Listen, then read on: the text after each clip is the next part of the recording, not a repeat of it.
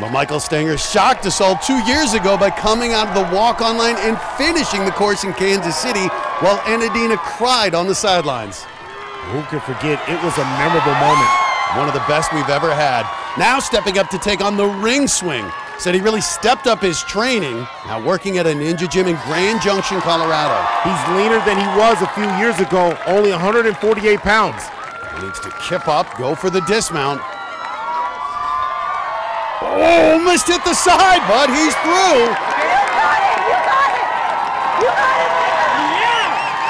Yeah. So great to see Enadina upright. Yeah, and- and not only upright, Matt, she's bouncing around. I'll tell you what, we may see Enadina on the course next year. Just breathe. You've got this, Michael. Well, he made it to the city finals two years ago.